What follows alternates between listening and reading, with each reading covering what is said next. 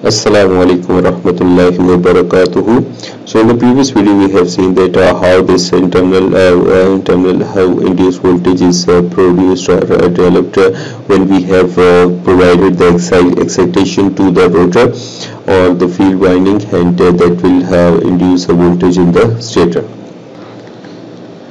Now to uh, further analyze this uh, uh, synchronous generator, uh, we have to develop the equivalent circuit of a synchronous generator. So the voltage uh, EA uh, is the internal uh, generated voltage produced in one phase of a synchronous generator. However, this voltage E is not usually the voltage that appears at the terminals of the generator. So what happens uh, from EA to the terminals of the generator? We will look all these aspects here. So in fact, the only time the internal voltage E is the same as the output voltage V phase of a phase is when there is no armature current flowing in the machine.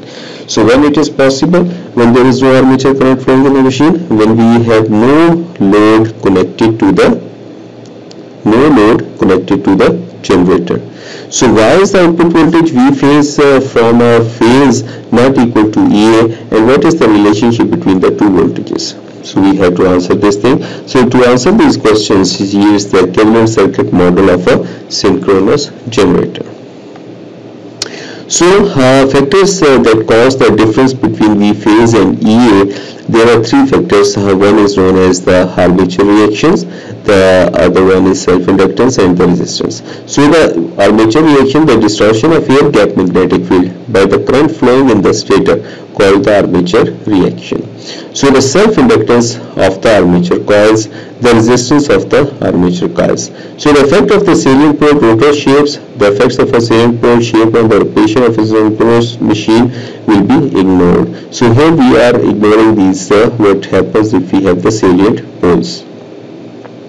So first of all we uh, must understand what is armature reaction that is very important thing that what happens uh, and what what actually is the armature reaction. So when a synchronous generator's uh, uh, rotor is spun a voltage E is induced in the stator windings. That's for sure we know that if, if a load is attached to the terminals of the generator so obviously a current will flow in the stator.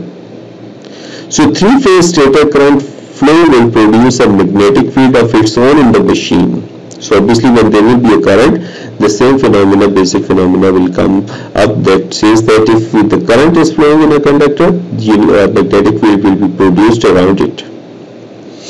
So the stator magnetic field distorts the original rotor magnetic field. So what's happening here?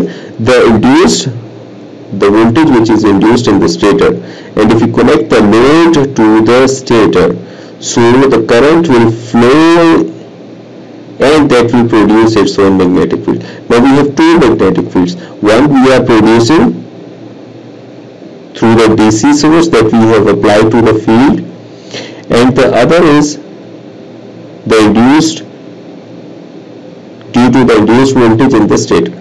so these two, two magnetic fields they will distort each other. So the stator magnetic field distorts the original rotor magnetic field, changing the resulting phase voltage. So this effect is called armature reaction. So it means how armature react when the, the voltage is induced through the field winding because the armature stator current affects the magnetic field which produced it in the first place. So to understand armature reaction refer to this figure. So it shows a two-pole rotor spinning inside a three-phase stator. So at no load the rotor magnetic field BR produces EA whose peak value coincides with the BR when we have no load connected. The voltage will be positive out of the conductors at the top and negative into the conductors at the bottom of the figure. So with no load at the generator, there is no armature current. So there is no armature current flowing and EA will be equal to V phase. EA will be equal to V phase. So what happens now generator is connected to a lagging load we have connected a lagging load to this generator. So the peak current will occur at an angle behind the peak voltage. So that current will be lagging from this E maximum. So the current flowing in the stator windings produces a magnetic field of its own. So they will produce magnetic field of its own which is we call it here as BS. The stator magnetic field is called BS and its direction is given by the right hand rule. So we can apply the right hand rule to find out the direction of this BS. So the stator magnetic field BS produces a voltage of its own and this voltage is called E stator. So because of this the voltage will be induced here and we call it as the E stator.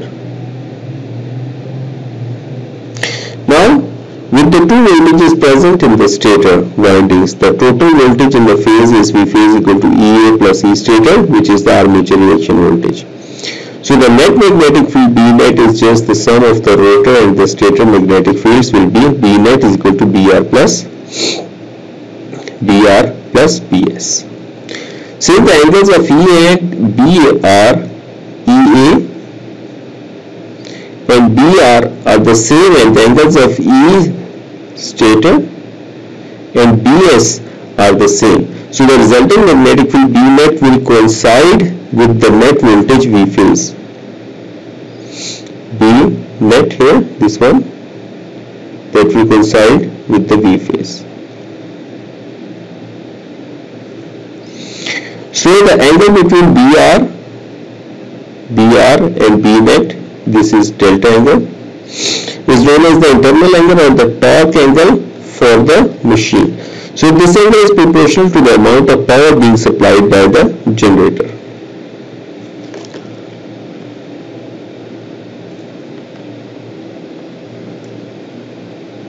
So the Modeling effects, what will be the modeling effect of this armature reaction in the equivalent circuit?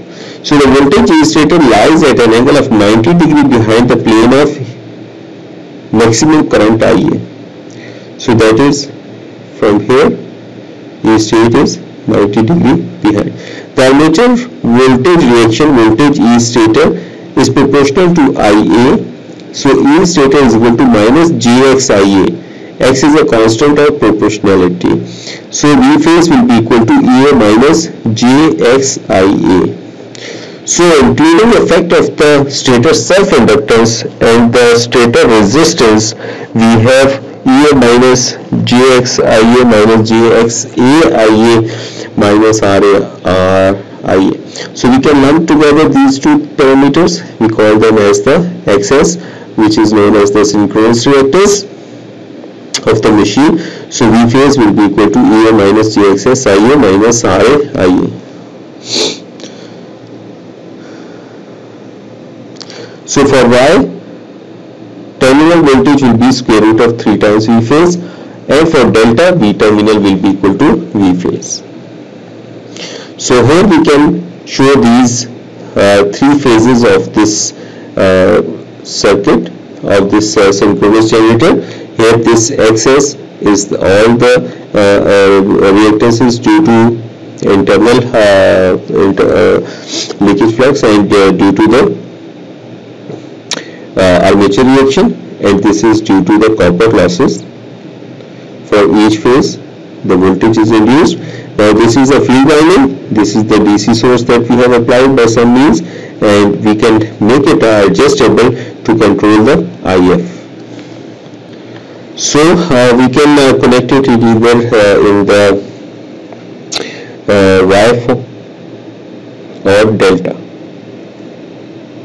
So this is the this is the stator part or the armature side of the syn synchronous generator so this is the equivalent circuit of the uh, synchronous generator on the rotor side we just have simple uh, field winding. So we don't have to mention much about this thing here. So uh, we, uh, uh, we will stop here. And uh, I hope you have understood uh, all that these topics. So still if you have any questions please feel free to ask assalamu alaikum warahmatullahi